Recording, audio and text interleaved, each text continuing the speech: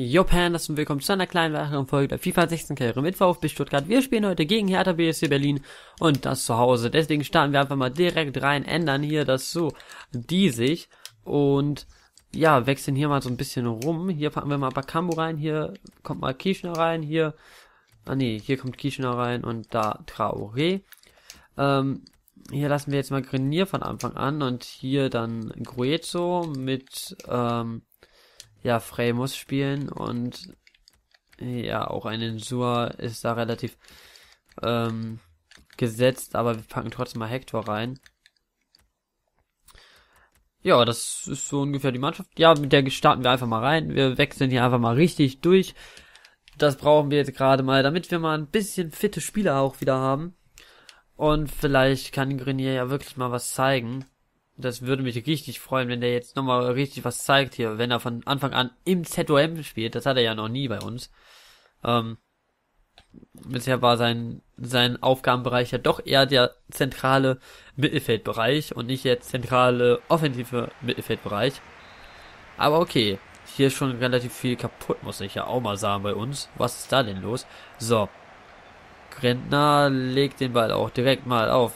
Hosogai, alles klar. Lustenberger, Ronny, Stark und Schieber. Legt den Ball hier auf Weiser. Mitchell Weiser und Hector dazwischen. Sehr gut. Gibt die erste Ecke für Hertha nach vier Minuten. Nach noch nicht mal vier Minuten. Ah, wobei doch, ja, gut, kann man schon sagen, nach so vier Minuten. So, Frey hier, das erstmal gut dazwischen. So muss das. Vandenberg legt den Ball aber auf Haraguchi, der ist auch wieder durch, legt den Ball aber richtig weit weg. Eieiei, wenn die so spielen, dann wird das hier nichts. Aber ja, sie spielen besser als wir. Sie machen nämlich schon Druck. Wir hatten bisher noch überhaupt nichts, was so was angeht. Und Frey legt den Ball auf Rüdiger, Rüdiger auf Gentner, Gentner auf Bakambu, Bakambu auf Frey, Frey auf Traoré, sehr gut. Jetzt haben, jetzt können wir mal Druck machen. Traoré läuft. Traoré hat den Ball, Traoré legt den Ball weiter zu Kieschner. Kieschner läuft nach innen, von da aus dann zu Traoré wieder. Ja, der läuft auch wieder ins Zentrum, aber verliert dann leider den Ball. Und dann gibt's trotzdem die Ecke. Eieiei, Hertha hier mit einem Riesenfehler eigentlich schon fast, kann man sagen. Äh, das war ja schon eigentlich geklärt. So, wir legen den Ball mal da auf Kieschner. Und von Kieschner aus, der zieht in die Mitte und verliert den Ball. Ja, der verliert den Ball. Das gibt es nicht. Schieber. So, jetzt legen sie hier den Ball auf Van den Berg. Der zurück nach Kraft. Okay, stark. Legt den Ball auf Pekarik und von da aus geht der Ball zu Weiser. Jetzt Hector hier weg. Ginter muss klären. Aber macht das gut. So, jetzt Frey. Jetzt muss da mal was kommen. Jetzt kommt schon. So, Frey auf Gentner. Sehr gut, Gentner auf Gruezo. Gruezo auf Hector. Hector sehr gut auf Kieschner. Das könnte jetzt was werden. Kieschner läuft nach innen, zieht wieder nach innen, legt den Ball auf Gentner. Von da aus zu Grenier. Die, der auf Traoré und Traoré schießt. Kraft hat den Ball. Schade. Das wäre es jetzt gewesen. Traoré ist auch immer noch so ein Spieler, dem ich am ehesten noch ein Tor gönnen würde mal. Dass er mal wieder so ein bisschen mehr zeigt, so, ja, er gehört ja eigentlich hin. Ja, das er jetzt nicht irgendwo anders hingehört. Okay, das war jetzt sehr gut von Langerack. Der war da da, das war wichtig. Und Gentner legt den Ball auf Frey. Traoré wieder. Wieder bei Bertrand Traoré. Traoré wird da gelegt. Das gibt den Freistoß. 24. Minute. Und gelbe Karte hier für Stark, glaube ich. Nee, für Vandenberg, okay. Eieieiei. So, von da aus können wir aber auf keinen Fall den Ball reinmachen, deswegen legen wir den Ball hier einfach so ein bisschen rein. Und da steht dann Vandenberg dazwischen. Das gibt es nicht. Weiser legt den Ball auf Vandenberg. Wieder Vandenberg. Jetzt Ronny. Legt den Ball da runter zu Haraguchi. Grenier läuft mit zurück. Frey muss aber da auch mitlaufen. Läuft da auch mit, aber falsch. Und Vandenberg köpft den Ball dann daneben. Naja, hätte ich mit Van, äh, hätte ich mit Frey vielleicht ein bisschen besser machen müssen. Bin da ein bisschen blöd gelaufen, aber gut. Zu meiner Verteidigung, ich habe gerade ungefähr 8 Stunden gestreamt. Wir haben jetzt gerade, ja, 8.30 Uhr. Ja, 8.33 Uhr und, ähm, ja, die beiden Folgen, dann habe ich sogar neun Stunden gestreamt. Nee, acht Stunden habe ich gestreamt. Ich habe um 7.30 Uhr ungefähr aufgehört.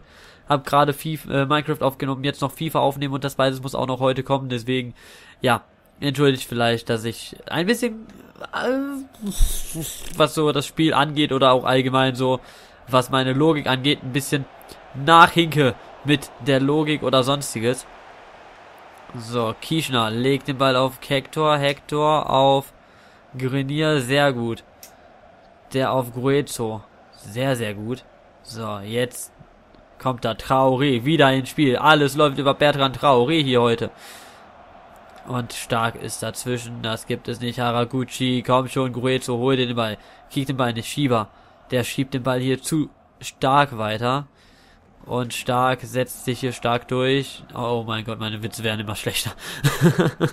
oh Gott, ey, was für Wortwitze ich hier mache. Vandenberg. Oh Mann. Verliert den Ball gegen Gruezo. Sehr gut. So, und Gruezo legt den Ball auf Gentner. Gentner auf Grenier. Das ist sehr gut gemacht. Der zieht nach innen. Der schießt. Und dann ist der Ball da von Pekarik nochmal geklärt. Bakambu köpft den Ball nochmal daneben. Eieieiei. 43 Minuten ungefähr gespielt. 42. Minute. Und es steht weiterhin 0-0. Langsam hätte hier aber doch schon eine Mannschaft das 1-0 verdient. Also sowohl Hertha hatte gute Chancen als auch wir. Auch wenn ich jetzt ehrlich sagen muss, wir haben momentan die äh, besseren Chancen. Holen hier wieder eine Ecke raus. Oh Mann. So, was wird das jetzt? Jetzt legen wir den Ball mal nach da hinten. So, Grenier auf Kieschner, wieder Kieschner. Diesmal aber hoffentlich besser. Kieschner schießt. Kiegt den Ball nicht, aber Gruezo. Und Kraft hat den Ball perfekt. Das gibt's nicht. Gruezo hat sowas von wenig Kraft hinter dem Schuss. Der muss vielleicht mal Schusskraft trainieren. Also, bei dem, das ist ja jetzt nicht das erste Mal. Der, der schießt und der Ball ist einfach vollkommen locker geschossen und der Torhüter kann den Ball einfach direkt aufnehmen. Und Van den Berg, Grenier holt hier die nächste Ecke raus. Vier Minuten Nachspielzeit inzwischen. Okay, so, nochmal. Grenier auf Bakambu diesmal. Bakambu kriegt den Ball aber nicht. Aber dafür Hector. Hector schießt nochmal. Schießt den Ball drüber. Und das war's dann zur Halbzeit. 0 zu 0. Ungefähr nach 50 Minuten. Leverkusen liegt zurück gegen Düsseldorf. Eieieiei. Und Darmstadt liegt auch wieder zurück. Darmstadt wird immer weiter runterlaufen hier momentan. Und Rupp kommt mal rein und hier lasse ich jetzt einfach mal, ja, ich pack Ginter dahin und hier packe ich Sunsic rein. Wir müssen auch mal Frey eine Pause geben, der ist 16 Jahre jung. Der wird das nicht durchgehend schaffen und auch unser äh, Kapitän, der ist äh, auch schon ein bisschen älter, der wird es auch nicht mehr ganz so schaffen, jedes Spiel hier durchzuspielen. Deswegen brauchen die beiden auch mal nach 45 Minuten schon eine Pause. Auch wenn ich eigentlich nicht so der Halbzeitwechsler bin. Muss das bei den beiden mal sein. Und das habe ich jetzt mit Kieschner richtig schlecht gemacht. Stark. Alter, was war das denn für ein starker Pass? Also für ein starkes Spiel. Jetzt mal ohne das blöde Wortwitz, äh, Wortspiel. Hector, sehr gut. Hector Gretsch nochmal dazwischen. 50 Minuten gespielt. Oh Mann. Nächste Ecke für Hertha. Die zweite, glaube ich, jetzt. Und Niedermeier. Ach ja, ist ja jetzt. Niedermeier von Hertha hat den Ball da berührt. Okay. Ich dachte jetzt, unser Spieler hat den Ball berührt und da Niedermeier ja auch früher bei uns war, gab es mir irgendwie jetzt gerade einfach so routinemäßig so, ja, Niedermeier gut gemacht hat. Nee, scheiße, stimmt ja, der, der ist ja gar nicht mehr bei uns. Das ist ja, äh, ein Hertha-Spieler. Aber wie, ich dachte eigentlich, wir hätten da geköpft. Aber okay. Ronny. Hosogai und Van den Berg wieder. Wieder Hosogai. Und der setzt sich ja auch gut durch. Harachu. Oh Gott, Ronny, Van den Berg. Haraguchi, Van den Berg. Sun sitzt dazwischen. Eieieiei, 58. Minute. Wir jetzt hier richtig unter Druck von Hertha. Und Hertha mit ihrem ersten Wechsel. Chigerci kommt rein. Hosogai und Van den Berg. Jetzt Bakambu holt sich den Ball hier vielleicht mal. Bakambu wird aber gleichzeitig wieder gelegt. Ja. Taktisches Foul. Van den Berg kann froh sein, dass er dafür nicht gelb bekommt weil dann wäre es gelb-rot, deswegen denke ich mal, wurde es auch gab es auch kein Gelb. Und Ginta sehr gut auf Bakambu hier nochmal. Und Bakambu ist jetzt wieder hier vollkommen durchges... Äh, vollkommen blockiert. Die stehen ja aber auch dann zu 10 in der eigenen Hälfte, kommt mir das vor. Im eigenen Strafraum. Und Grenier macht es einfach mal. Oh mein Gott. Alter.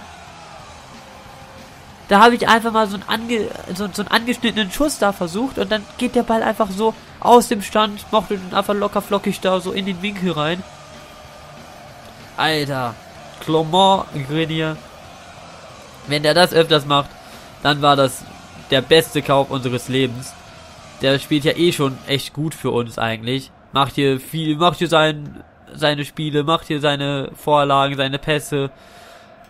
Ist ja eigentlich ein richtig guter Spieler und jetzt macht er auch noch ein Tor. Und dann auch noch so eins. Und Grenier kriegt gleich die nächste Chance, kriegt einen Freistoß. Okay, gibt erstmal den Wechsel jetzt. Okay.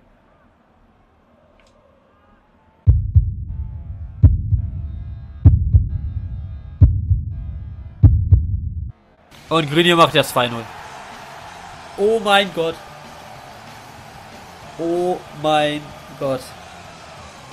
Was ist denn jetzt hier los? Oh mein Gott, das war das erste Mal, dass ich so einen Freischuss reingemacht habe. Sonst mache ich die ja immer so drüber. Und jetzt habe ich den einfach mal so da so angezirkelt, so neben dem neben dem Freischuss her, äh, neben der Mauer her. Das habe ich noch nie geschafft. Das habt ihr ja gemerkt. Ich habe das ja in den letzten paar Videos auch schon versucht. Und jetzt habe ich das endlich mal geschafft. Ähm, also Grenier auf jeden Fall ein guter Maxim-Ersatz, wenn mal Maxim wirklich verletzt sein sollte, was so Freistöße angeht. Kriege ich auf jeden Fall mit dem auch zumindest so schon mal relativ gut hin. Äh, dafür habe ich mir den ja auch extra nochmal gekauft, weil ja auch da stand, dass ein Freistoßschütze. Und ich mir so dachte, so, okay, so ein zweiter Freistoßschütze neben, äh, neben Maxim ist auf jeden Fall gut und Bakambu ist jetzt auch nochmal durch. Bakambu, Bakambu, Brooks, äh, Brooks dazwischen, schade. Das wäre es jetzt noch gewesen. Wenn wir jetzt hier die ganze Zeit so spielen und dann auf einmal einfach ganz schnellen Dreierpack so gesehen. Ah, Rupp, schade. Hätte er den Ball nochmal durchsetzen müssen zu Grenier eigentlich. So, jetzt Sunsic. Kriegt den Ball dann nicht geklärt. Haraguchi, Sunjic nochmal. Sehr gut. Legt den Ball auf Ginter, Ginter, der kriegt den Ball nicht. Aber Rüdiger, sehr gut. Und nochmal Grenier. Ah, Hosogai wieder. Gruezo, Kishna. Gruezo legt den Ball hier direkt auf Brooks, das gibt es nicht. Als nächstes spielen wir aber gegen Hamburg, das könnte ein ähnlich gutes Spiel werden, wie das jetzt gerade. So, Hector, Gruezo, ah, Mann, das gibt es nicht. Jetzt verlieren wir nur noch den Ball. Jetzt nur noch Hertha hier gerade am Ball. So, jetzt aber Rupp. Grenier. Ja, sehr gut. Legt damit den Ball nochmal zu Rupp. Wir wechseln jetzt gleich nochmal aus. Wir wechseln jetzt gleich nochmal den dritten Spieler ein, den wir heute einwechseln können. Und zwar genau jetzt. Jetzt bringen wir nochmal äh, Maxim rein für den lieben Grenier, der darf sich mal feiern lassen. Würde ich mal sagen. Also nach zwei Toren, davon ein wunderschönes Freistoßtor, würde das äh, sich, denke ich mal, sehr gut machen. Und Shiba köpft hier zum Glück nochmal drüber. Sehr gut. Sehr, sehr, sehr, sehr gut. Okay. Ginter. Rüdiger. Rupp. Sehr gut. Legt den Ball auf Traoré. Traoré könnte sich jetzt auch nochmal durchsetzen hier vielleicht. Setzt sich aber gegen Vandenberg nicht durch. Schade. Chigerci und Vandenberg. Ah. Lustenberger, wieder Vandenberg. Schieber wird da von Rüdiger fair vom Ball getrennt. Eieiei, ich dachte erst, das wäre nicht fair gewesen, aber anscheinend wohl doch. Okay, Lustenberger, Einwurf für uns Nummer 89. Minute. Rupp auf Ginter. Van den Berg klärt den Ball wieder ins Aus. Okay, nochmal ein Einwurf. Ich muss ehrlich sagen, ich hätte jetzt nicht unbedingt gedacht, dass wir hier jetzt dann auch noch 2-0 gewinnen. Ich hätte vielleicht gedacht, wir zittern uns hier wieder zu einem 1-0-Sieg. Vielleicht verlieren wir auch das erste Spiel oder wir spielen halt einfach unentschieden. Zum einen, weil ich halt gerade erst so gesehen, also weil ich halt mega müde bin, noch von den ganzen, von dem Stream jetzt gerade. Gut, ich hätte jetzt natürlich auch weiter streamen können. Ich habe jetzt nur aufgehört zu streamen, damit ich aufnehmen kann. Und ähm, so weiter. Aber trotzdem, es ist halt einfach krass, erst recht, wenn dann solche Bälle hier drin sind, wie zum Beispiel der von äh, Grenier mit dem Freistoß. Oh mein Gott, Düsseldorf gewinnt auch noch 2 zu 0 gegen Bayer Leverkusen. Was ist denn da los? Eieieiei.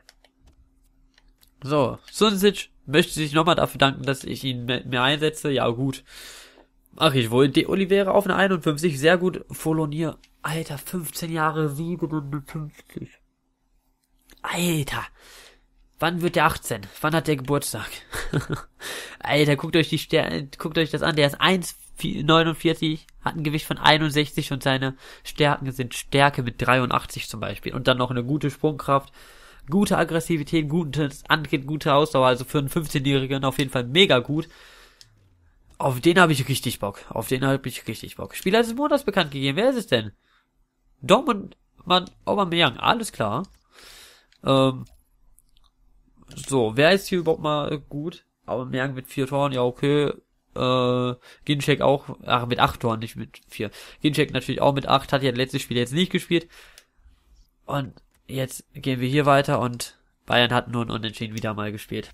Sehr gut. Bayern momentan eher so auf dem ähm, abstehenden, Gle äh, abfallenden Gleis, würde ich sagen schon fast. Und hier Grenier äh, der Glücksspringer von VfB Stuttgart. Okay. Äh, nach zwei Spielen, nach, nach einem, nach zwei Toren auf jeden Fall. ja, aber das ist mega gut gewesen, was der hier geleistet hat. Der wird auf jeden Fall, guck mal, der hat sich schon wieder verbessert um einen Punkt. Das ist halt so geil. Jetzt hat, jetzt ist der genau so gut wie die, äh, wie, wie die Davi schon. Ähm, sowas freut mich halt auch immer mega, wenn dann wenn man halt dann einfach so sieht, so okay, die Spiele haben sich jetzt auch noch verbessert. Im nächsten Spiel werden wir wahrscheinlich auch wieder mit äh, Westergaard und äh, Sunsic in der Doppel äh, in, in der Innenverteidigung spielen. Denn Ginter und Rüdiger würde ich jetzt auch mal eine Pause gönnen, denn als nächstes steht dann natürlich Juventus Turin an und da muss ich wirklich auf die fittesten der fittesten setzen. Ich hoffe einfach, dass es euch gefallen hat und wenn es euch gefallen hat, will ich mich über eine positive Wertung freuen. Als nächstes spielt Bayern gegen Hertha da wird Hertha wahrscheinlich dann wieder gewinnen. Nein, Spaß. Und äh, ja, ich hoffe damit einfach, dass ihr beim nächsten Mal auch wieder dabei seid und sage damit bis zum nächsten Mal. Haut rein und ciao. Euer Mr. Panda.